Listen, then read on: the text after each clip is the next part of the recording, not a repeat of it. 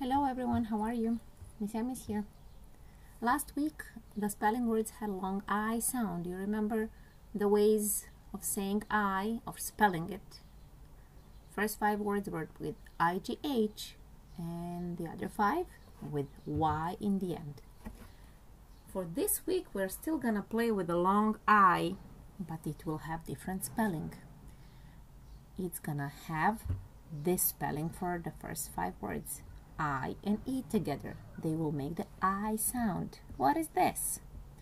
Yummy apple pie. Can you use the word pie in a sentence? Would you like to eat some pie? Next one, and we saw it also in the video. This one is a tie. Tie. T I E. Tie. The next one. Hmm. He said a lie. L I E. Lie. And then this one. Quiet. Quiet. Okie dokie. Q U I E T. Quiet. And this one is fries. Mm, yummy. Can you use the word fries in a sentence? So those were the first five.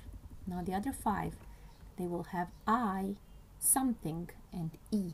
The magical E will make the letter I to make the sound I. This one is ice. Use the word ice in a sentence. Would you like to touch the ice? This one, we use it when playing some games. It's a dice. D I C E, dice. And this one is a smile.